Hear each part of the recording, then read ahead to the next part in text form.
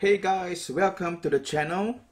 We are very happy to start and kick off this tutorial uh, finally.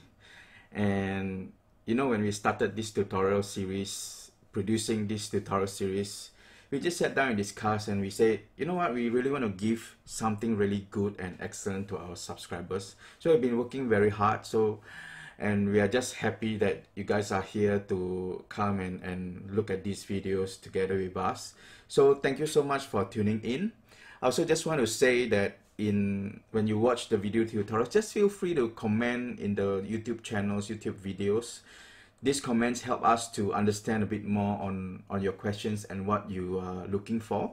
And also these comments help us get this video out because the more comments there are, the more YouTube will, will point these videos to people to watch.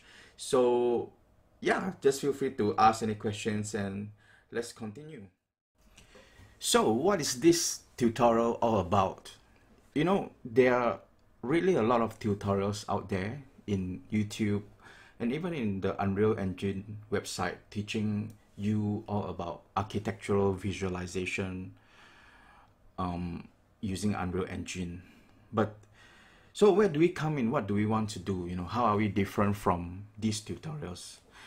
So when we thought about creating this tutorial, we want to give our viewers something like a zero to hero kind of tutorial where we, we want to use very simple techniques so they are not difficult. They they they really are very basic techniques. But also is is really meant um, or rather designed for someone who have absolutely no background in architectural visual, visualization at all. So we will be covering through from the beginning from how we model even from AutoCAD you know and stuff like that all the way to to Unreal Engine you know. So so for those of you who have absolutely no idea you're just a student or you're just starting out in ArchViz then this tutorial is for you because it goes step by step from beginning to the end. But of course having said that you know this is also for those who who who are already you know I, I've known some stuff in Unreal Engine I just want to know a little bit more about light maps or a little bit more about lighting. So what we do is we try to break down these videos into very small chunks and label them as detailed as possible. So if you find that, okay, this is something for me, good for you, but if you are just looking for that one video or that one tutorial, then you can just probably skip some of this more basic stuff and go straight into it.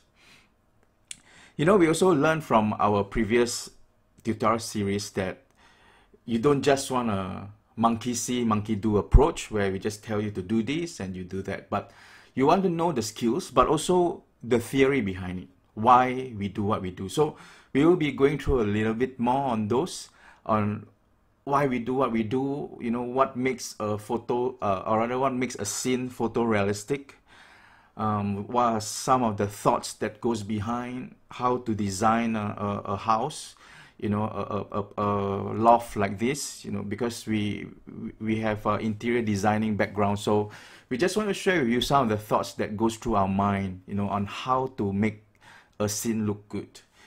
You know so that's that's what this tutorial is all about as well. And finally we, we, we want to approach this tutorial with a real project. If you were to deliver an actual architectural visualization to your customer you know what is the deliverables that you want to give your customer you know. So this is where we we want to give you an actual project. You know in our past series we we use a small room and and, there's nothing much in it. But in this one we are we are using a full-fledged loft a full-fledged house with all the furnitures in it. So so the performance and stuff like that they are they are they are more towards a real life scenario so hopefully this will benefit you. So you know, this channel being an Unreal channel, we we really want to focus on a real-time and VR ArchViz. You know, so so we are focusing on presenting or delivering a real real-time walkthrough using Unreal Engine. And so why do we focus on it so much? You know, we, we sincerely believe that VR is the future of uh, ArchViz. So of course there's a space for 2D rendering and videos and stuff like that, but but when you are in a real time and VR environment, there's always a presence. There's always a sense of scale where you, you can really have a have a real feedback um, to the design that you're presenting to the customer. So it, it makes us feel like we are stepping into the the design itself, which is why uh, I really believe in this technology and why we are focusing so much in it. So so this tutorial will focus more on delivering a real-time experience and not so much uh, just focusing on delivering a good 2D rendering. Although in Unreal Engine, when you have the project file um, ready, you can take 2D screenshots. Um, of course, in Unreal Engine, the 2D screenshots will never be as beautiful. I mean, it's close, but it will never be as beautiful as what you can produce in V-Ray. But it's, I would say it's 90% close. So, but eventually we will still want to focus in this tutorial on delivering a real-time walkthrough.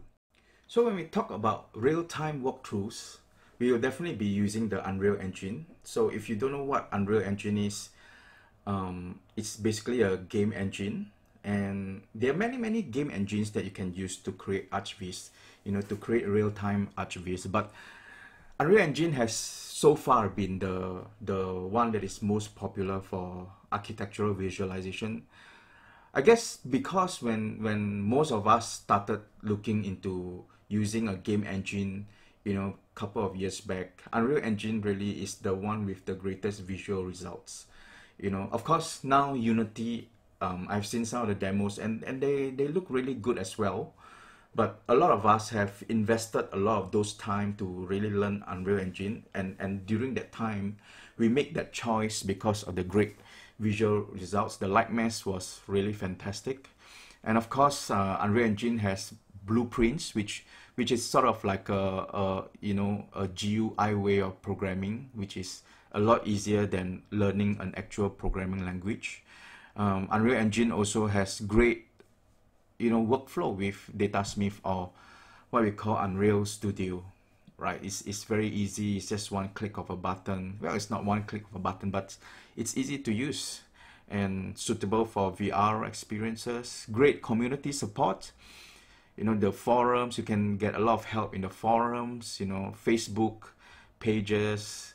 Um, people are just really helpful and and the guys in unreal engine are are really helpful and and there are a lot of tools in the product family like um, you know now they've integrated with RTX stuff like that. They are in the forefront of technology. So I really love using Unreal Engine. Um, they they create the best I mean uh, that that uh, that I have been creating. So so in this tutorial we will definitely focus on Unreal Engine you know, and lastly, I just want to share with you, you know, our goal for this course. I believe the knowing the end is the best way to start. so this is our goal for the course is a two-story loft um, that we created in one of our projects, and we we strive for photorealism. Of course, uh, it's not a perfect um, piece of work. You know, we want to be perfect, but nothing can be perfect you know it, it looks nice but but as the creator of it i know that there are definitely other areas of improvement. But i think it's, it's good enough. It's something that i'm comfortable to share with our customer. You know so this is um, the goal for our for, for our project for our tutorial for this entire series. And by the end of this series i'll have given you all the tools all the knowledge all the skills all the know-hows to create this scene so I hope this gets you excited and let's continue. So before we end, I just want to share a bit more on how you can support the channel. So first of all, um, all the PowerPoint files that we use in this tutorial, you can download it.